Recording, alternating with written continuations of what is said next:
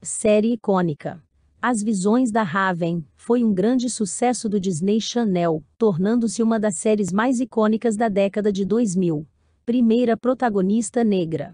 Raven Simonet foi a primeira atriz negra a protagonizar uma série do Disney Channel. Estreia. A quarta temporada estreou em 20 de fevereiro de 2006. Última temporada. A quarta temporada foi a última da série original. Número de episódios. A quarta temporada tem 22 episódios. Episódio final. O episódio final da série, Where Teres Smoke, foi ao ar em 10 de novembro de 2007. Primeira série a atingir 100 episódios. As Visões da Raven foi a primeira série